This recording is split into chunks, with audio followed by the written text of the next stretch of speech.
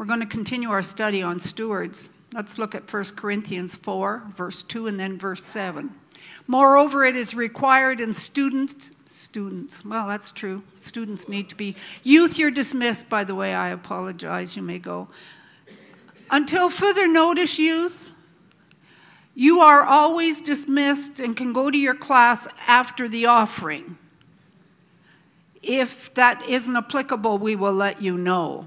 So in future, because I apologize, even though I had it at the top of my page, I'm not sitting there with youth, so I'm not thinking, when are they going to go? Actually, it's probably not the parents so much that wants them to go, it's the youth that let me out of here. Moreover, it is required in stewards that a man be found faithful. And there's in Proverbs, who can find a faithful man? Faithfulness is not something we have in abundance today. You can see that out in the streets and, and things that are happening. Verse 7 We're faithful with, as a steward because a steward is over a house but what this is so amazing for who makes thee to differ from another, and what have you that you did not receive? Now, if you did receive it, why do you glory as if you had not received it? Everything we have, we've received. We've received because of Jesus, because of the goodness of God. So we don't have to glory in ourselves. So being a steward over the house, over a house, over a man's possessions, everything we have is from God, and yet He's so good, He's allowed us to be a steward over everything He has. 1 Peter 4:10, please. As every man hath received the gift, even so minister the same one to another as good stewards of the manifold grace of God, the varying grace of God. We read where the grace of giving that we would have and understand and walk in that revelation knowledge of the grace of giving. And everyone has received a gift. We've received the gift. We saw in Genesis chapter 1 where Adam and Eve were given authority dominion, and authority to be stewards in this earth. You cannot be a steward properly unless you're given dominion and authority. So, one of the gifts we received is dominion and authority to be a steward of the manifold grace of God.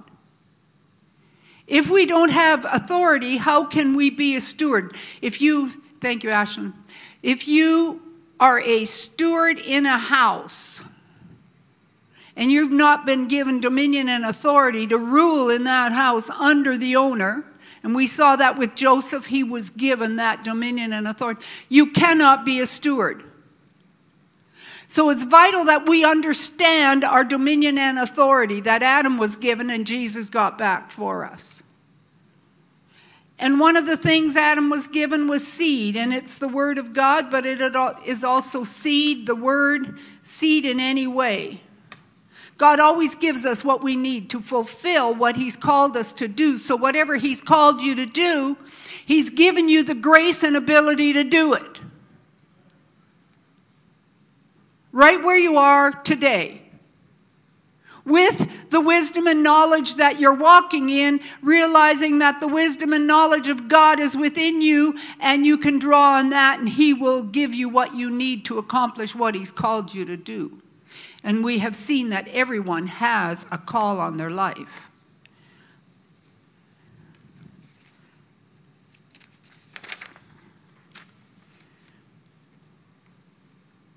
We saw in Romans chapter 12 starting with verse 1, there's a, would you pull that up, please, Ashlyn? Romans 12, 1.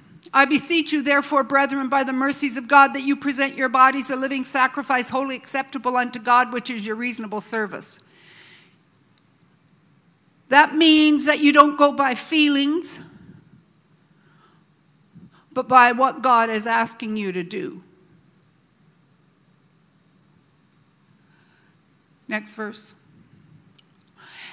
So you present your bodies and be not conformed to this world. If your body is telling you what to do, if your feelings and emotions are telling you what to do, you're going to be conformed to this world. So to prevent being conformed to this world, you have to renew your mind.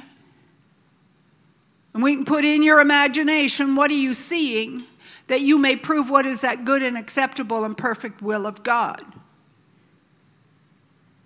There is a foolproof formula for success.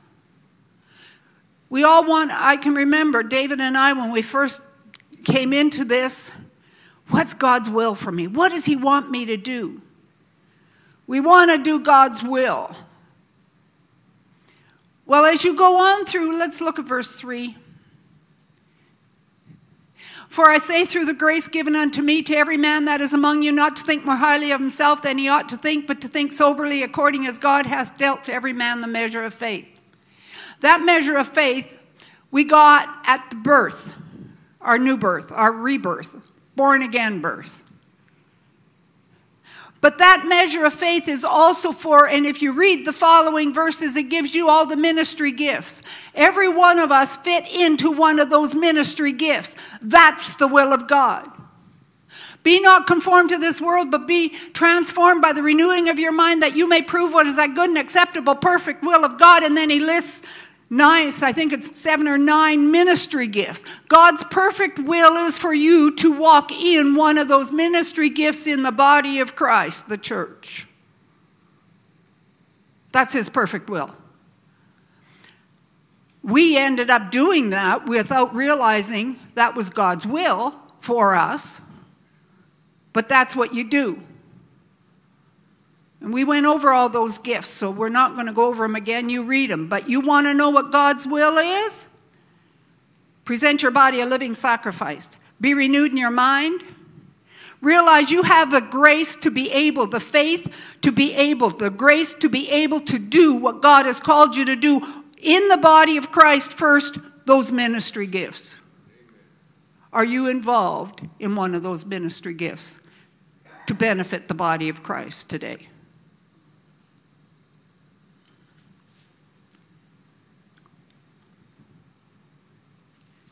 So we had looked at that. This is review. I don't know, with David or somebody says, all those notes, are you ever going to get through? I said, well, a lot of them are just review. We'll, we'll work on this. So then we looked at stewards of the kingdom, generational stewards. And we have to be faithful in stewarding, stewarding God's kingdom for the next generation. And you might say, well, I don't have children to steward, or I really messed up with my children. Well, you're in the household of faith, and we'll get into that, why Abraham was called. But when you have children, if you messed up with your children, but you planted some seed in them, laborers. Laborers. But you be a laborer. You be a laborer for somebody else's children. And then you're blessed when you have grandchildren because you might have missed it because you didn't know a lot of things with your children. But now the Lord has given you wisdom of the mysteries. And now you have grandchildren you can put it into. It's a great opportunity when these little ones are there and you can give them the word. I remember one time we were walking along the sidewalk and uh, it was Terrence and Aurora. I was walking along, we were doing whatever. They used to come over, we'd go to the playground. But anyway, Terrence had a problem with bees and wasps and etc. And by this time, I had gotten and had been telling him, You have dominion and authority in the earth. So this bee was coming and he was jumping around. I said, Terence, look. So I pointed my finger at it and commanded it to go in Jesus' name. It went. So a while later, another insect came. I don't know, a bee, a wasp, whatever. I said, Terence, what did I tell you? You do it. You point your finger. You say it.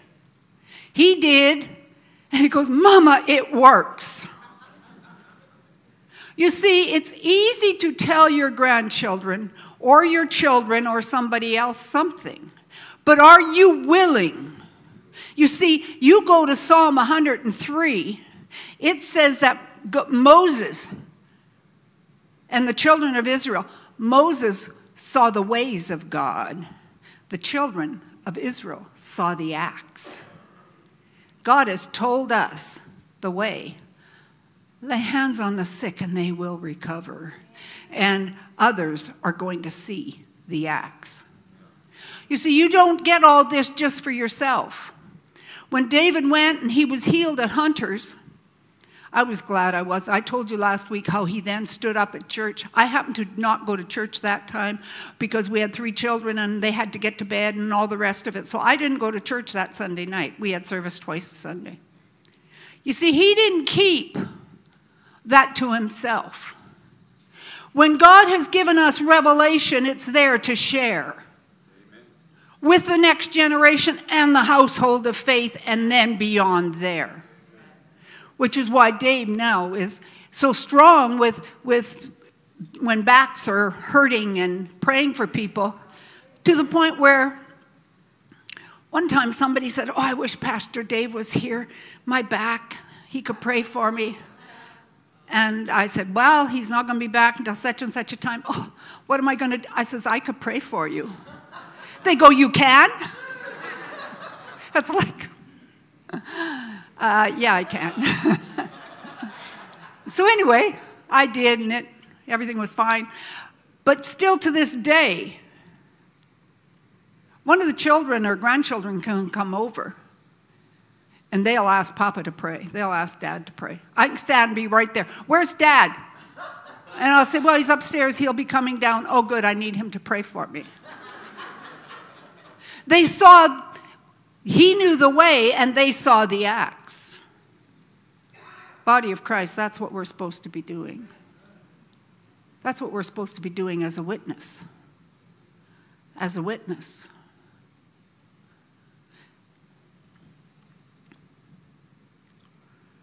Hallelujah. So we saw where Joshua said, As for me and my house, we'll serve the Lord. And let's go to Judges chapter 2 10 to 12. So Joshua's generation, and we saw what happened. And also, all that generation were gathered unto, no, is that what I want? Yeah, unto their fathers. And the next generation arose. See, there's Dave and I. We're faithful to teach our children, that generation. But if our children don't teach their children, there arise another generation after them which knew not the Lord. Our children are responsible for their children. But praise God, when you're in a family, you can also minister to your grandchildren.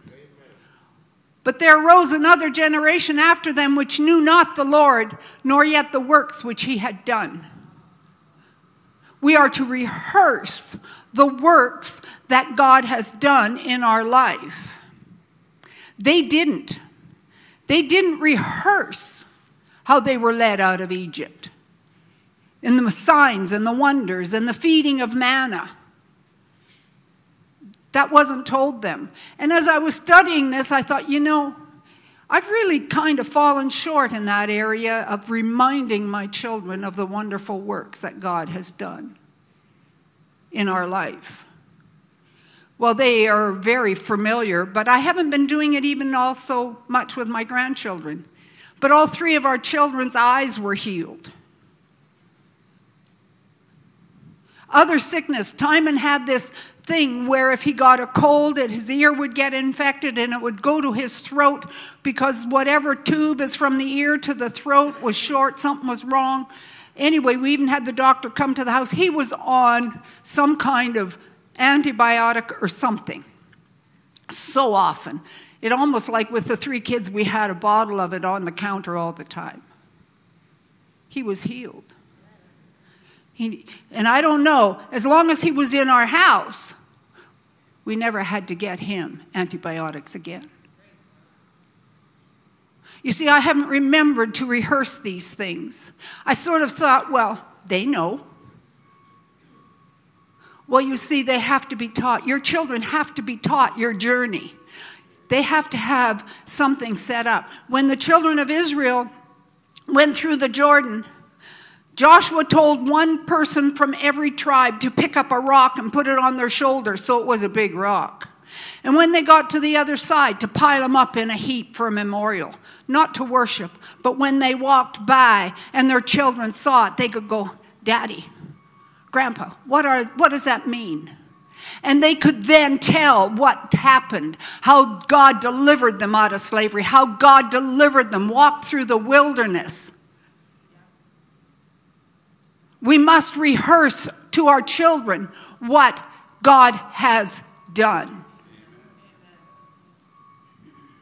How he's brought each one of us out of the land of Egypt. How he came and he revealed himself to us, some minister, something that we were all born in sin and we needed a Savior. Our children need to know. Ashlyn brought out last week about unity. And it's the fear, the honor of God and His Word that'll bring unity. That's what'll bring unity in a family.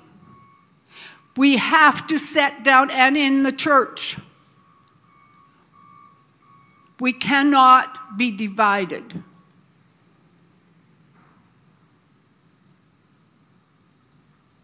We have to believe the same thing. Next verse. And the children of Israel did evil in the sight of the Lord and served Baalim. Evil is loving something God hates. God hates One of the things God hates is pride. But evil is embracing. And you might say, well, I don't embrace evil, but it's just a little bit. It won't affect me because it's just a little bit. I want to tell you, I heard this, whether it's true or not, I heard this testimony. This pastor's son wanted to go to this movie, and I'm not sure, I think it was R rated. Anyway, and so there was a little bit of uh, pornography or whatever, and some cursing in it. And the father said, the pastor, who's the father said, no, you can't have, watch and see that. And so the son said to him, but dad, the elders of your church, their kids can go. How many have ever had, who have children, have heard, but they're allowed to do it? And so the father instead, he said, You can have all your friends over. So he invited all the friends over. And so they were playing out in the backyard, so the father decided to make them brownies. And so he made the brownies and he went outside and got a little, they had a dog and he got a little bit of dog poop. And he mixed it in the brownies. And so he served them and the boys were ready to eat. And he said, Oh, just a minute. Before you eat, I should tell you there's just a little bit of dog poop in it. but it shouldn't hurt you, it's just a little bit. And a little bit doesn't hurt. They didn't want to eat them, but they did get the message. A little bit does hurt. It starts with a little bit, and if your children see you entertaining a little bit, the next generation will be worse. If we can make an excuse for a little bit, the next generation will make an excuse for a little bit more, and the next generation will not have any fear of God.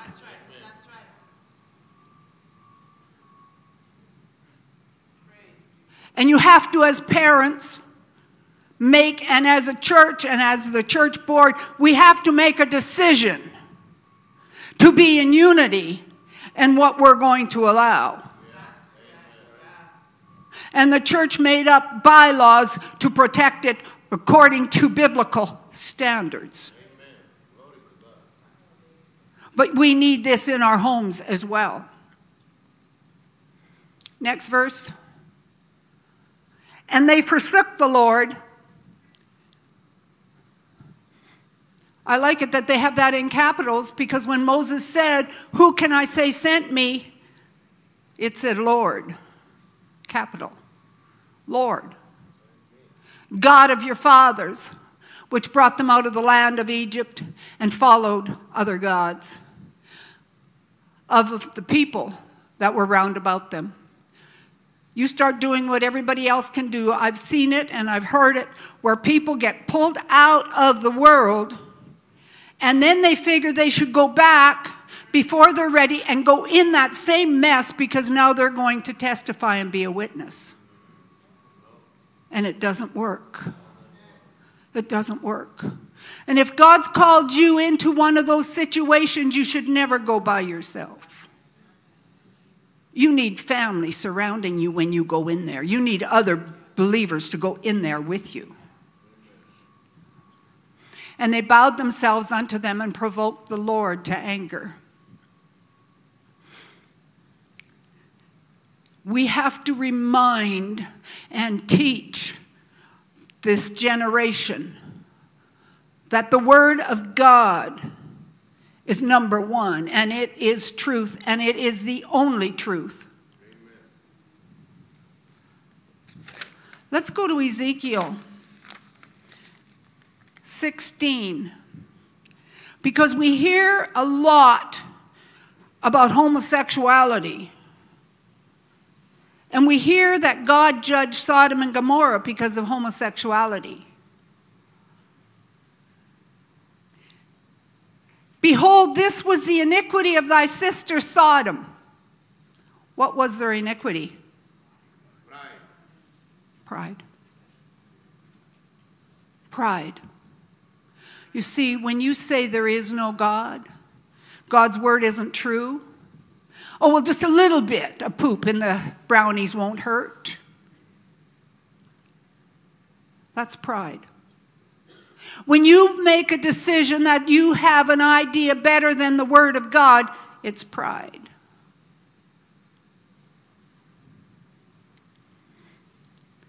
God's given reasons here, the reasons why He judged Sodom and Gomorrah. The fullness of bread. prosperity. Abundance of idleness. They were so prosperous, they quit working. They were idle. They weren't doing anything. They had too much time on their hands. And teaching the next generation, they have to know to work. They're not to be idle, they're to work, they're to be taught to work.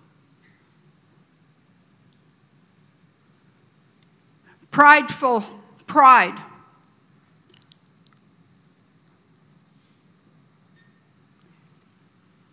Pride, well, we'll finish, was in her, in her daughters, neither did she strengthen the hand of the poor and needy. She did not give. Sodom did not give. They were not a giving people.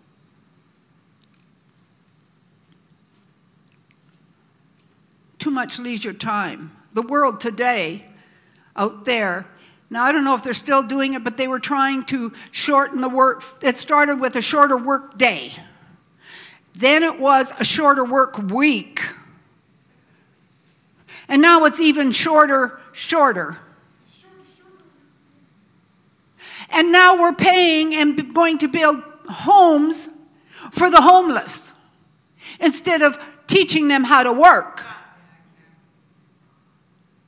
There's a lot of work. If you're going to give somebody a home, they better work. I don't care if it's shoveling sidewalks, weeding flower beds, washing windows, sweeping the floor. It doesn't, you work.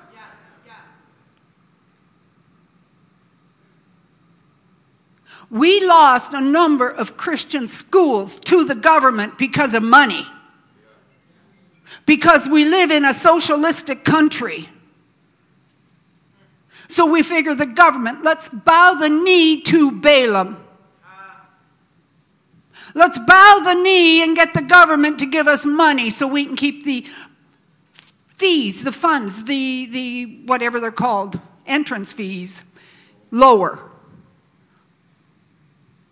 And I'm sure most of the parents, they could have given something up to get there. Or even if necessary, worked a second job if it's that important. But because they bowed the knee to the love of money, so the government would pay, they now lost the right to have total control in that school. This isn't political, people. This isn't political. This is Bible. This is Bible. I'm telling you what the Word of God tells us.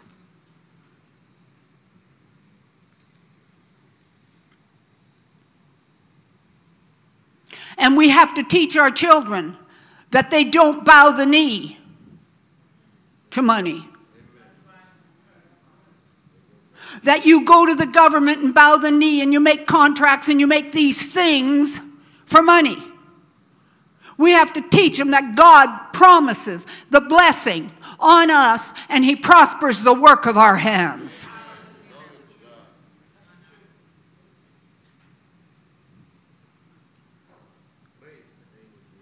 Sodom destroyed.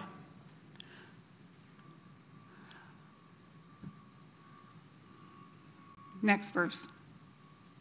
And they were haughty, again, pride, and committed abomination before me. Therefore, I took them away as I saw good. Where do you see homosexuality in here? Nowhere. What led to homosexuality? Pride, laziness, it leads to evil. We see today and we attack homosexuality. And it's wrong. It's evil. It's contrary to the Word of God, totally. But now in schools, you see, it's so evil. There is, as Ashlyn had brought forth, it's the fear of God the reverence of God, His Word,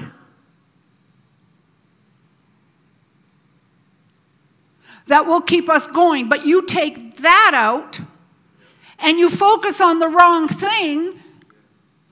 Now, what are they doing? They are teaching little children in school that there's no longer just two genders. And they aren't taught because the Word of God has been erased, that God has formed you in your mother's womb. And He knit your parts together. And what you came out, that's what you are.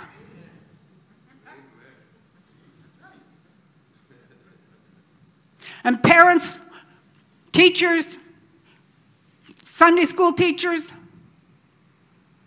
but parents, never, ever, ever, ever, ever, ever did I say never ever? Let your children think you would rather had a girl or a boy. Because somewhere along the line, Satan can put that thought in their mind and figure my parent would be happier if I was the other sex. And the school is backing it up. It is evil to teach these little children and allow them to decide what they're going to be. and, and encourage it and to give them books where they have two mothers or two fathers or they call two women, one a mother and one a father. It's evil. It's evil. It is because you're calling good what's evil, you're calling good. It's evil. And that's what happens when you get rid of the Word of God. Because now, um, Premier Danielle Smith was putting in place where parents had to be told if the children want up to a certain age if the children wanted to change their pronouns etc so they came out with oh no we can't do that to children we're hurting the children if we do that. They pulled this whole smokescreen, like I said last week regarding abortion, women's rights, when it's doing nothing but harming women. They pull this smokescreen. We just want the best for the children. We're concerned about the children. It's evil.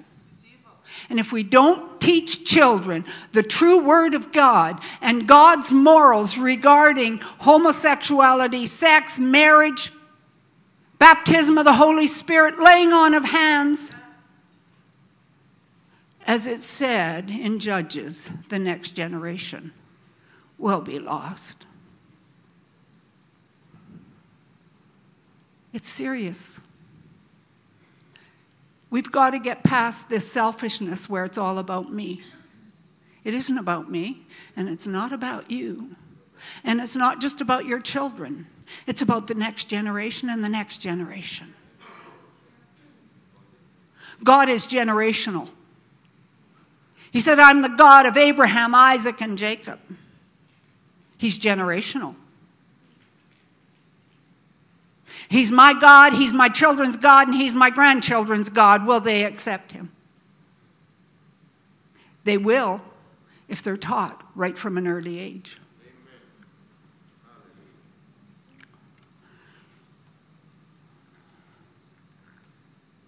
The root of Sodom's homosexuality was pride. And that's what led to the abomination of homosexuality. You have to get to the root.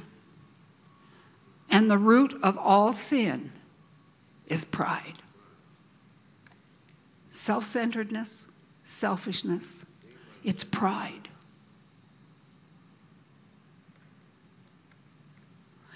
And what we're doing, not us, but what's happening is they have said, and unfortunately, there are churches that are embracing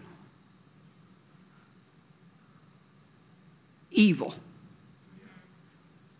Because they have been so taken up by what the world says, saying, if you say that, you're not accepting them, you're not loving them, and we have to be loving.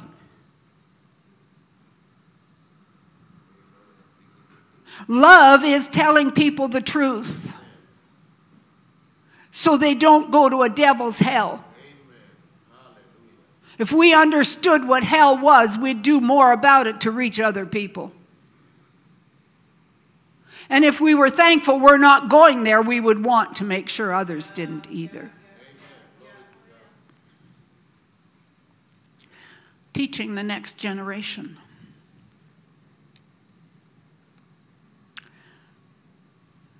Darkness prevails where there is no light, and God's word is the light. You take out the word of God, you've got light. I used to wonder, you know, you'd read about this god Molech and how they would heat it and put their sacrifice their children. God told them way back then, don't sacrifice your children. Don't allow them to go through the fire.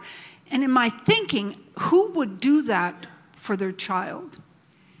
When you've been lied to long enough, when you see the people around you and you infiltrate with them, we're doing that today through abortion.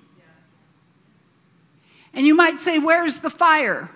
Well, for those that were aborted through a saline solution, the children would be burned.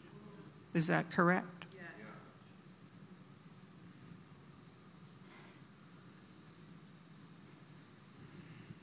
And that happens when we no longer preach the word, but a social gospel.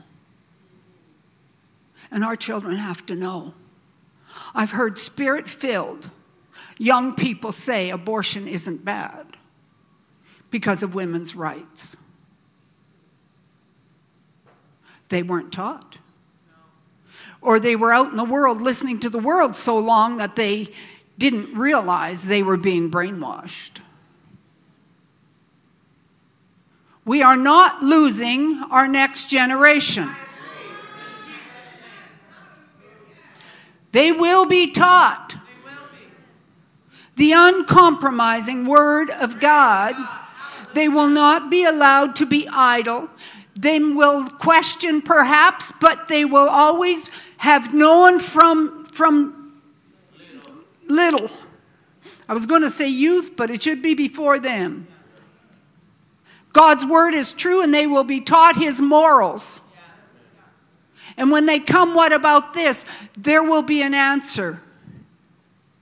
They may question, they may wonder. But let me tell you, it's vitally important. And parents, it's really on you. You can get, I've got an address and a phone number where parents got together, a website. Parents got together and believed for a school. And then they believed for a building. It was not connected to the church, but they were all Christians. Another example of that is Living, living Waters. Living Waters. That is not a church school. It's a group of parents who got together and started a school. Parents start schools.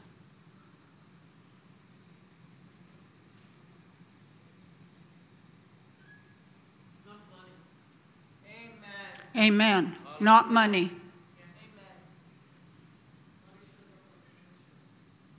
Maybe you can do without a pair of shoes. I don't know. But there is money. There's lots of money out there, and God will get it to you if you want it for the right reason.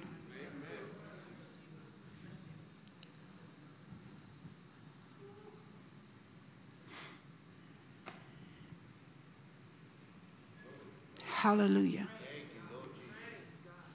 Glory to God. Pride, thinking we're smarter than God. And if you walked up to a lot of people and said, Do you think you're smarter than God? They'd say no, but you'd say, Why are you compromising here? If you do not take the Word of God literally as your guideline, you are compromising.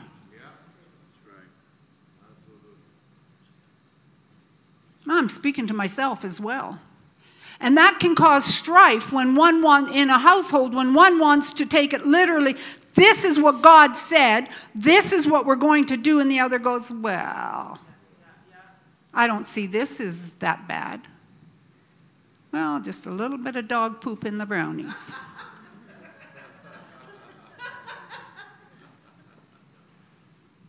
It's a lot easier than going through the whole other part of it.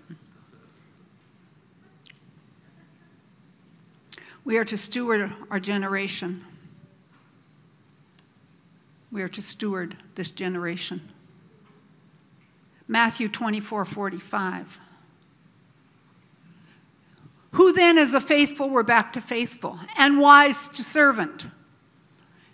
And he's talking about stewards. Whom his Lord hath made ruler over his household to give them meat in due season.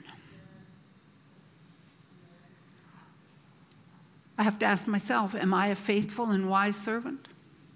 Meat. The word of God is meat.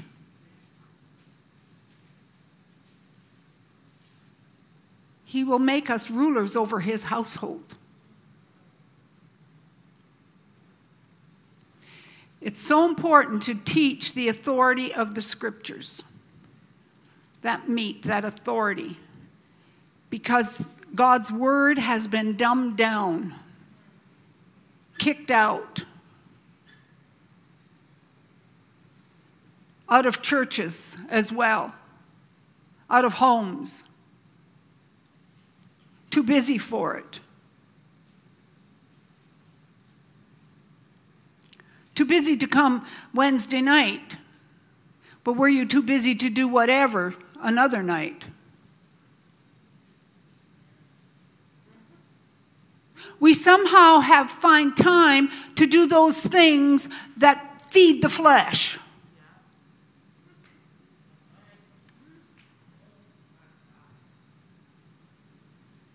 I can remember the church we, I grew up in, then Dave came into. They had services two on Sunday. Dave was more faithful than I was, going to both services. I said, Well, I'll stay home with the children. Three young children, they shouldn't go at night. And so David said, Okay, well, we'll take turns. I'll go, No, that's okay. I know how to put them to bed better than you do.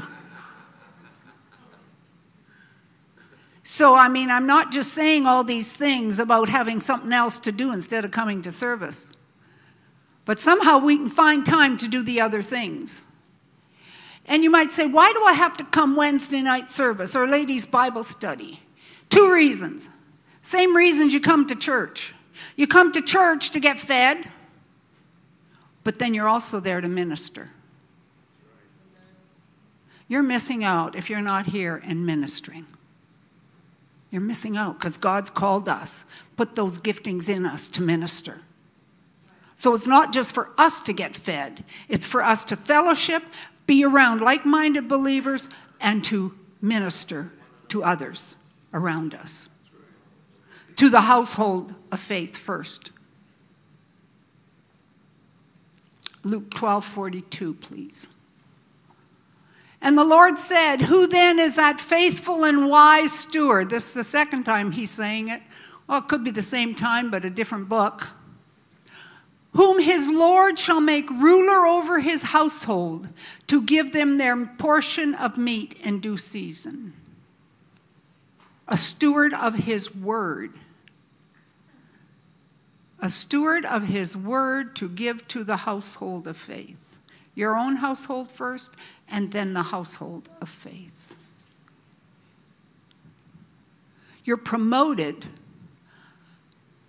on what you do. You don't come in and say, Well, I'm, I have been going to church for 55 years. And in this other church, I was all these things. So I'm going to come in here and I expect you to honor that and give me all these things. Well, what church did you come out of? Maybe they don't believe anything we do believe. Or somebody just gets born again and we try and put them up on a platform. You have to be a wise, faithful steward, and that starts with taking out the trash, perhaps. I had the trash in my hand from the shower. I walked in here and immediately somebody said, Give me that. That's a faithful steward. And my first thought was to say, Really? I can do this. But then, if somebody wants to serve, I'm realizing to let them serve. But who is faithful? Who is faithful? Who is that faithful? You see, all the wealth, talents, and abilities we possess as well as the revelation of God's love that we have, are not our own to do with as we please. We're stewards. We're stewards of that. We've received these things from God and are therefore accountable to Him for the use or misuse of these gifts. Keeping this in mind is essential fulfilling our obligation to God as stewards of his manifold grace. We're back to the first scripture we started. 1 Peter 4:10. Everything we have is from God. You see, a steward in a house doesn't have to purchase anything. He's given everything for his use and the use for other people, as God has done for us. Hallelujah. A steward, a household distributor. And we read of the things of God, the manifold grace of God, the gifts of God. A manager, an overseer, a preacher of the gospel. And you might all say, I'm not called to be a preacher, maybe not fivefold, but where a preacher proclaims, and we can all proclaim the love of Jesus and what he's done in our life. What is the requirement of a steward? It is that's to be found faithful. It doesn't matter what I did back there. Look at Paul. He was found faithful. And he was a murderer. But to be found faithful in the things of God, to be found faithful to share your faith, to be found faithful to declare his love to people and what he's done for them. We will never flourish if we're selfish or self centered, where it's all about me. I don't have the time. I don't think I like that. They probably don't appreciate me. Well, you wouldn't believe this, but Sister Io looked at me the wrong way the other day. You think I'm going to do any? You expect me to work beside her? This happens in churches. This isn't an exaggeration, it happens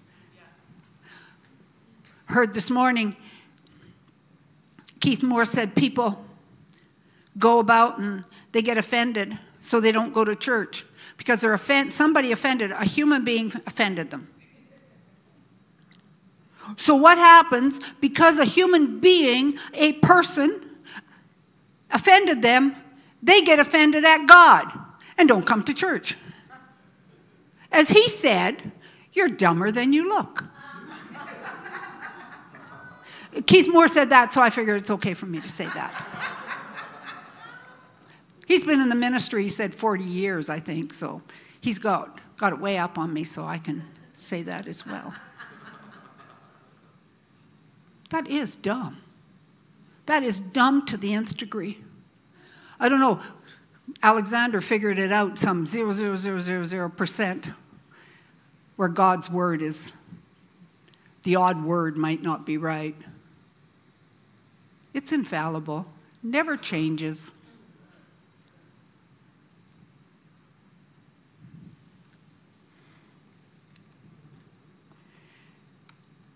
It is not about you and it's not about me. It's all about Jesus. And when our focus is so on Jesus and what he's done for us, there is a desire, and we renew our mind to that, and that God's word is true, and it never, we start meditating that and seeing it. You've got to see yourself serving. You have to see yourself coming to serve every service you possibly can. You've got to see yourself ministering to people. You have to see yourself laying hands on the sick. Meditate on those scriptures. You have to see it. Jesus said, The works that I do shall you do also, and greater works than ye shall ye do. Meditate on it. See yourself raising up a generation of mighty, mighty people of God that perform and know the ways of God, first of all, and then they perform the acts of God. That they will be this witness. They will know God, what God says morally. They will know why these why pride, the beginning of evil, begin God hates pride. Sodom and Gomorrah were destroyed because of pride. And pride led to homosexuality, etc. But notice, evil preys on the godly. When those angels are, uh, came and the men of Sodom and Gomorrah found out that they were there they didn't care that they were godly men. They didn't ask, Do you mind to come out with me? Uh, it'd be nice. I'd like it. Uh, you know, I'll show you a good time. Will you come out with me? They demanded. They demand. Evil always demands. And people are demanding to brainwash our children. And they're saying it's good.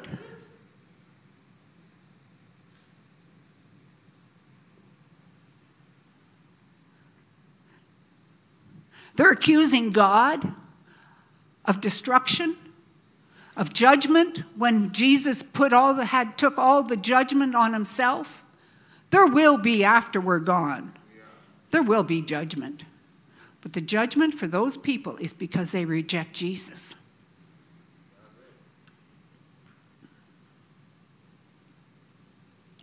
Jesus has said that it's the judgment for Sodom and Gomorrah is going to be less than some of these other cities, Chorazin and all these various cities. If they had seen the miracles. When I was reading that and I saw this and I thought, if they saw the works of God, maybe they would have repented. You see, they didn't repent. Now you go into the book of Revelation, and Jesus was chastising this church because they allowed this woman Jezebel to stand in the pulpit and preach. This is what gets me. God said, I've given her time to repent. And I was talking to Ashlyn and I said, You know, it's amazing to me that God would say that. Because if that would me, I'd probably slap her, drag her out, maybe stone her you know, like, get rid of her. She's messing up this whole congregation. God gave her time to repent. Sodom and Gomorrah had time to repent. We have time to repent. One thing will stop us from repentance pride. Refusing to admit we're wrong.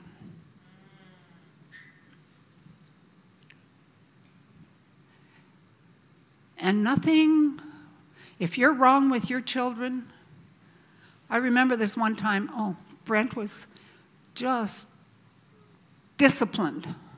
And he said, It wasn't me, I didn't do it, Jody did it. Well, Jody said it was Brent.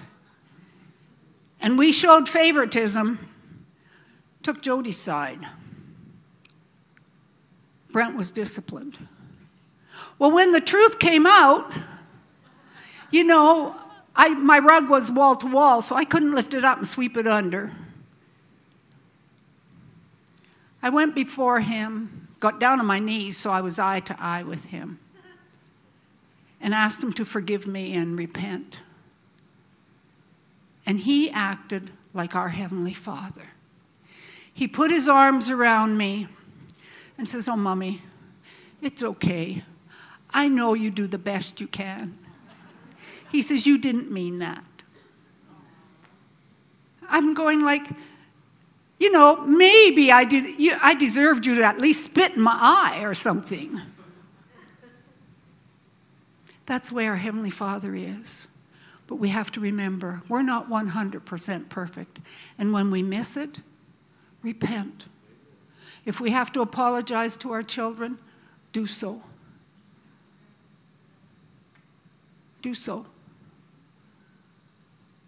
do so. Repent before God when we miss it, when we didn't take His word seriously, when we kind of thought a little bit was okay and it wasn't. He doesn't hold it against us. We just have to repent and change the way we think about it. He just loves us so much. He loves us so much.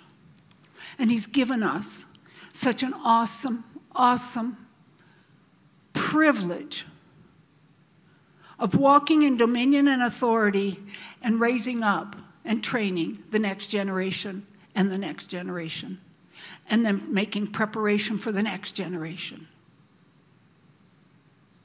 That is such a gift that He's allowed us to do that. Please stand.